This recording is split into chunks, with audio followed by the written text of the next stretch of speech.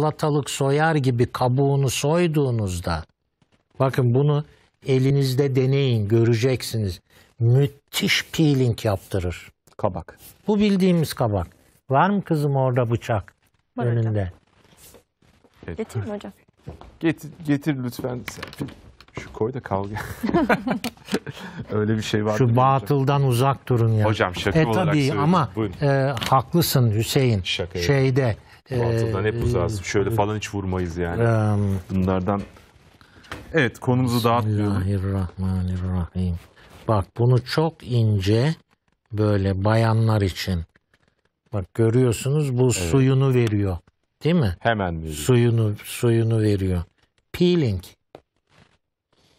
Peeling için bunu bırakın böyle sürün. Nasıl? Ama e, şey olma ama e, doğru düzgün bir kabak olacak. E, tabii. yani hakikaten Anadolu kabağı Kabak olacak. kabak. Doğal doğal kabak olacak. Mis gibi de e, şeyi var. Bak parlatmaya başladı. Bunu sürerseniz peeling yapar. Yani cildinizdeki o ilk ölü tabakayı kaldırmak için birebir. Yani bak Peki. burada da nasıl terledik gösterebilir Hemen. miyiz?